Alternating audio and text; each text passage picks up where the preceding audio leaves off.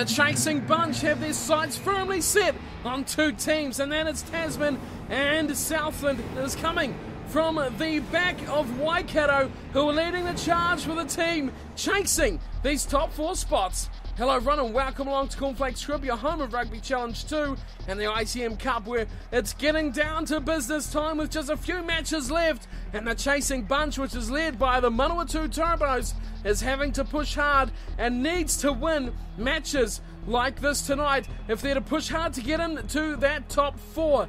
They are a good side. They sit fifth in the table and they've had good results in their last few matches, which put them in good form at home here against the Tasman Makos. Now, looking through this Manawatu side, there are some special players. In the front row, Biden's and Fia, two very good players, a Canadian and Super Rugby experience. Outside them, Fitzgerald, playing for the Chiefs. He's a Super Rugby Championship winner.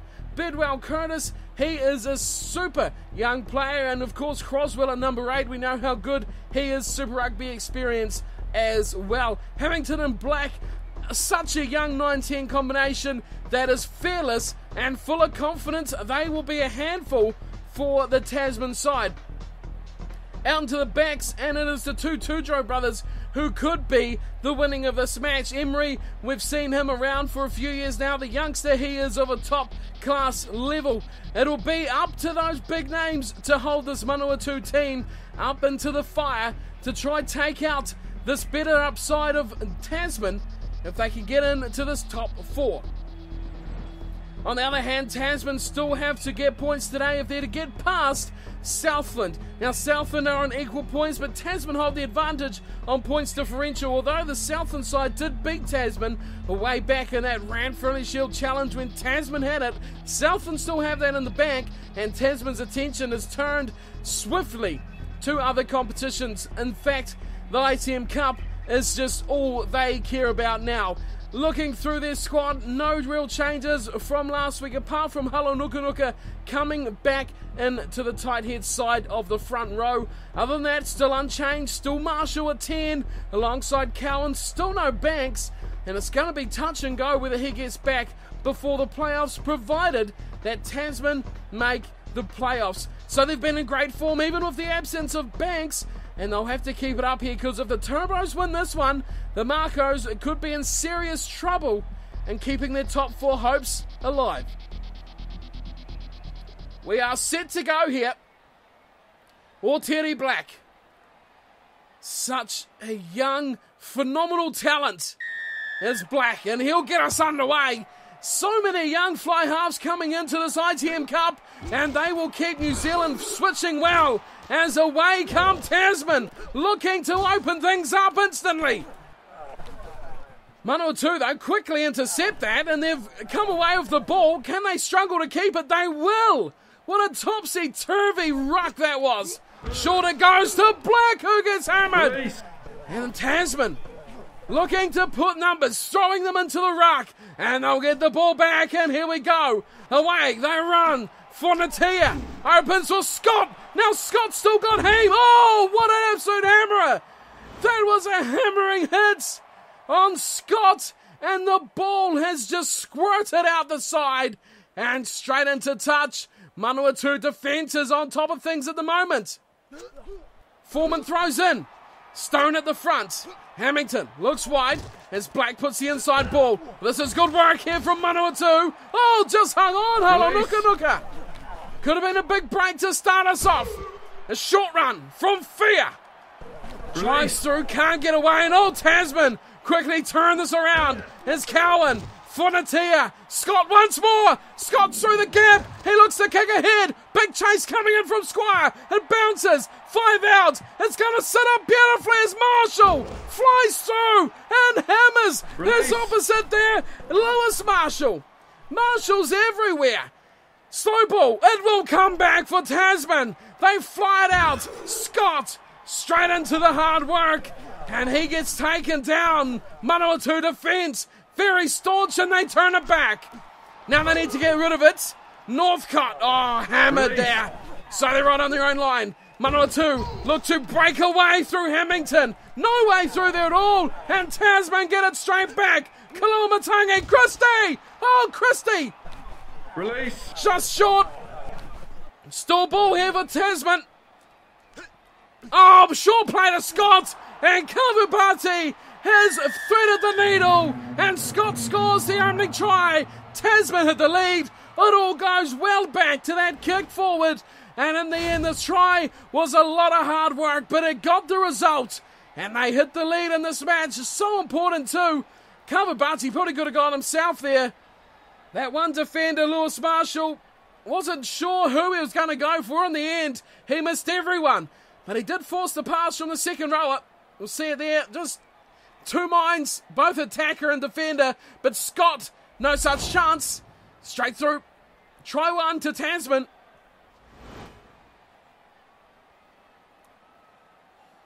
Another Marshall, Tom Marshall. Put a smashing hit on his opposite of the same name, Lewis Marshall. Here's his first shot at goal. Handy position, should be easy one, and it is. It's 7 0, the Makos over the Turbos. Manawatu trailing against Tasman. Otere Black. On halfway. Need to get him a bit more involved in this game.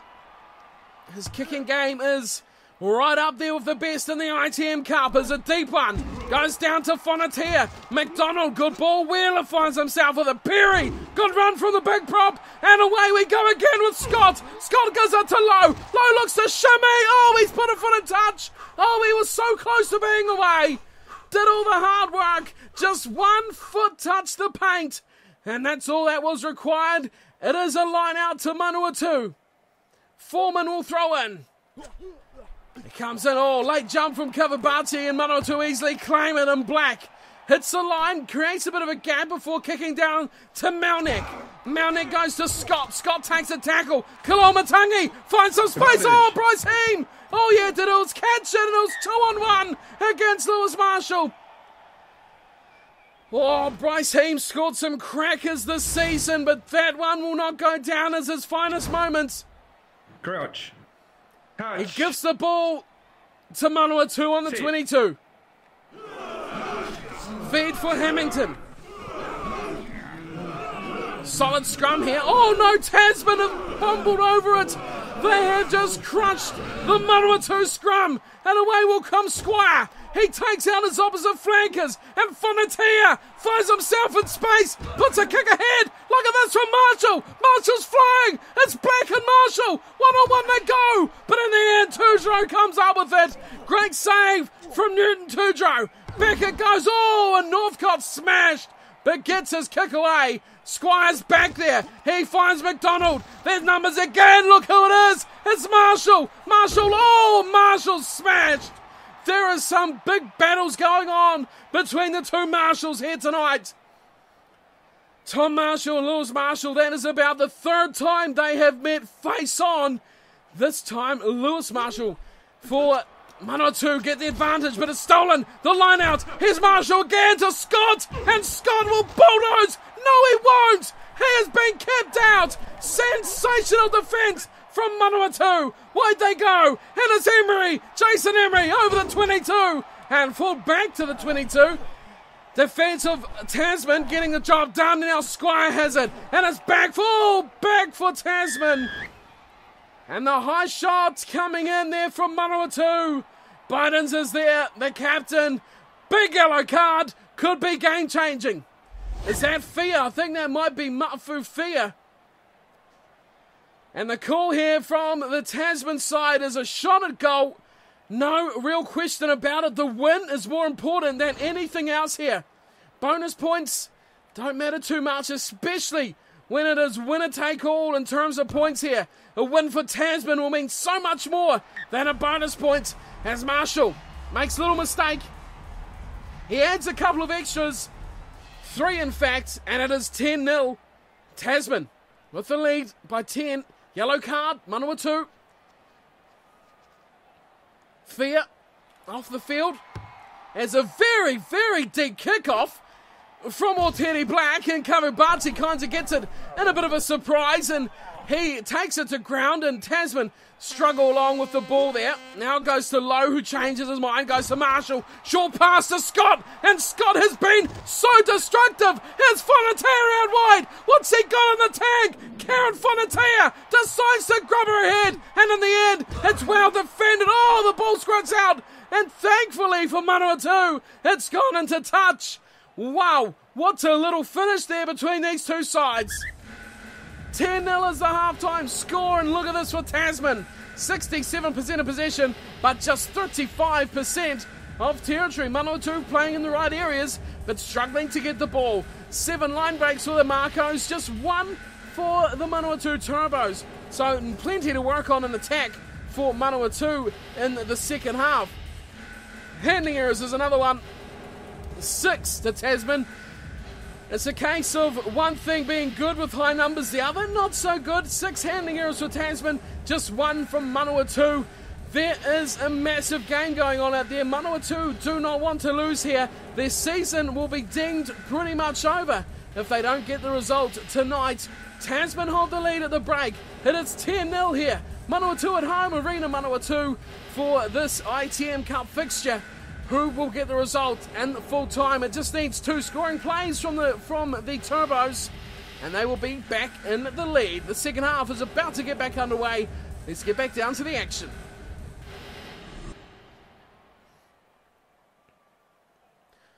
Well, Tasman have been classy these last few weeks. There's no questioning that. Lowe with the kicking duties from general play. Kicks us high, and oh, well taken. Beautiful work from Manawatu, but Jimmy Cowan is all over and he turns it over. Marshall over the top. Halanuka Nuka. Could be a great start here. Fonatea for the corner. Swings in, but he can't get away. And Bryce Heem is left just grasping for what could have been a try. Now he plays scrum half to Squire, and Squire's away and through. Easy try for the big number eight.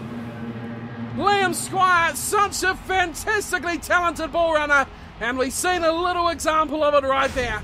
A little hole. He had the footwork and the deft touch there of a back just to slip right through. Pretty much untouched. Great work between Black But there was a great tackle from Lewis Marshall. Heem was right there on, in support. And there was a poor effort there. It was Gibbons as well. Gibbons and Otere Black. Straight through. Try to Squire. And that will pretty much be another little nail in this coffin of Manawatu. They needed to score first to get back in this game. Their task is made a lot harder now with a lot less time on the board. Here's Marshall. He's had a good game, and that one is wide. That is an ugly kick from Tom Marshall. But how good's he been at leading the side around the field? Instrumental in the absence of Marty Banks.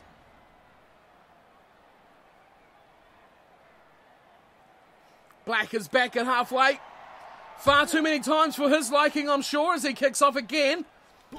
Deep it goes down, and Christie Beautiful work. Scott, nice ball. Kalamatangi somehow passes on that tackle. He's given the ball away though. Manawatu got it back. Tujo gets a good pass. A chance here. The Turbos must score. Emery, great pass. Someone has to do it. Now it'll be over. It is a try that they've been searching for, and Tujo gets it. I think there was Newton Tujo. Let's check out Terry Black. Wow, look at this. There was Tujo. And here was the big support player, Emery. Went short. Everyone was involved, but Otere Black gets the try. Right in the middle of the park. Mistake from Tasman. I think they were just looking to pummel that man into touch. In the end, broken play. That's where Manawatu have excelled. And a great try for Black. Like we said at the start, need to get him in the match. Need to get him involved. And look at the rewards it has reaped already. First try for the Turbos. And they need this one here desperately with half an hour to go. No worries. Black gets himself seven. Well, game on now. They just needed that a little bit earlier. If it was 10 7, things could have been interesting. Tasman will be desperate to get back down the other end of the field, get themselves the ball in hand, and put some pressure back on the Turbos. A deep kick down from Lowe. Cowan is waiting, and Cowan is laying down a big tackle once again. Jimmy Cowan, such an aggressive player. Short pass. Oh, he's been smashed, and Scott picks it up. Who was that? That looked like it was Squire or Christie. Here's Cowan. Misses out. Goes to Lowe. Lowe Marshall. Numbers out here. Probably won't need him. Oh, massive tackle. Lewis Marshall take a bow, but that's a try. Or is it? Oh, they're having a look upstairs here. The whistle didn't go. The two Marshalls go hammer and tong once again. Almost an eerie silence goes around the field here. No one knows really what's going on. Tom Marshall went up against, oh, Lewis Marshall. Surely that's a try. There was no question of that ball being placed down at all, I don't think. James Lowe, sensational catch and pass. Probably should have just put it down, but wanted to get it a bit closer. Great tackle from Lewis Marshall on Tom Marshall.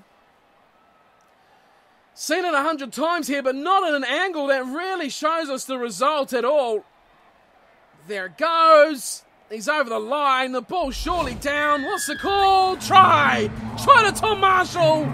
And that'll surely be the finishing of Manawatu. Well, it took a little bit of a deliberation there, but the result was found and it was the right one.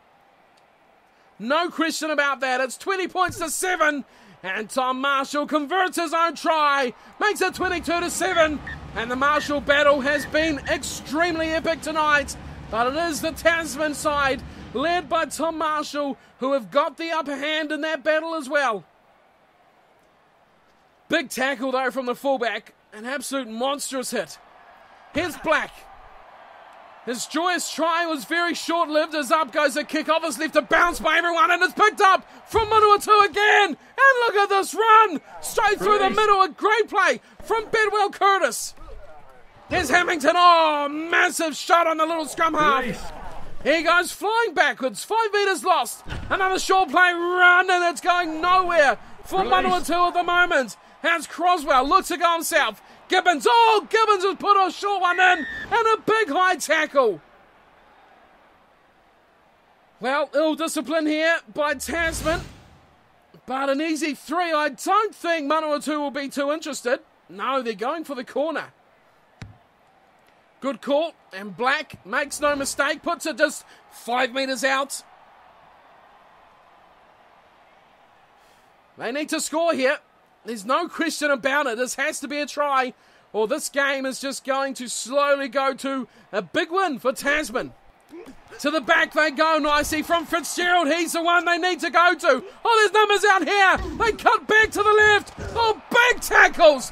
Massive hits. And his neck just cracked back. Short pass, Bidens. Oh, big hit down. Bedwell Curtis again. He's going nowhere.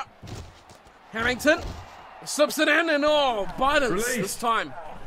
Tries to force his way through, but the Tasman defence is very staunch.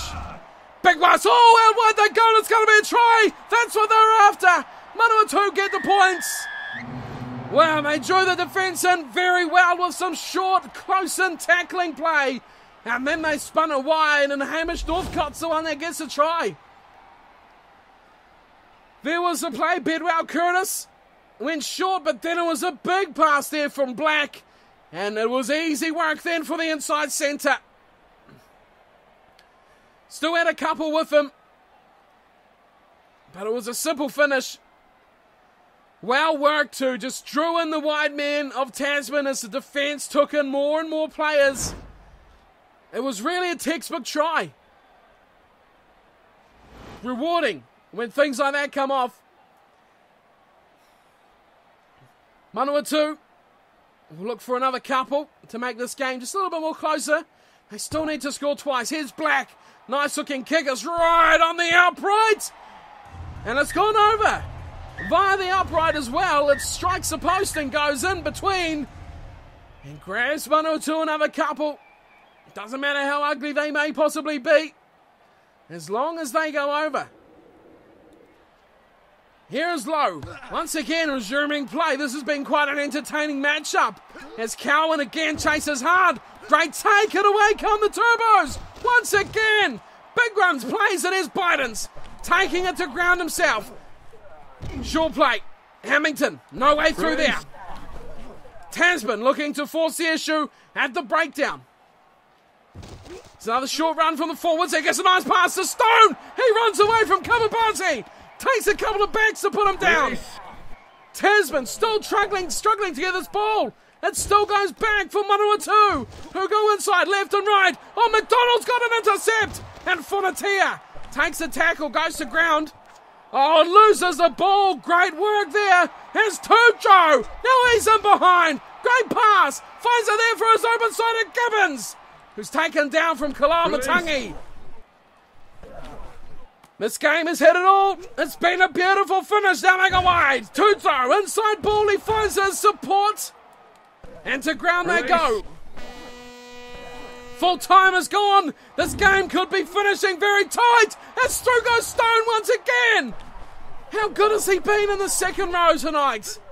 Running with the ball in hand. Northcott throws it backwards. No real direction on that one. As they look outside. And Terry Black just about goes all the way. A desperate tackle at the back from Melnick. Is the difference? And oh, there we go. Ball back here. And Halanuka Goes to Scott. I think Tasman are done. They smell a bonus point. And through goes Marshall. Looks to force his way. Can't get through. Good tackle at the back once again. Marshall on Marshall. Both teams playing for bonus points. As wide come one or two. It's Tojo and Lowe. And Tojo just short. Wow, Tasman have got work to do here. They're on their own line. Halanuka once again finds Wheeler. And Wheeler goes storming up the middle. Tasman, oh, they're going to lose again. They've lost the ball. Now they look to the left. Emery, nice play. Support from Bidens. Gets an outside. Oh, beautiful inside ball. Be a try. No, yes, it will. No, it's not. Bedwell Curtis has put a foot in touch right at the dying seconds, and both sides have missed out on a bonus point. What a remarkable finish to the match. I thought he was over for all money, but no. The touchline denies both teams on numerous times in this match.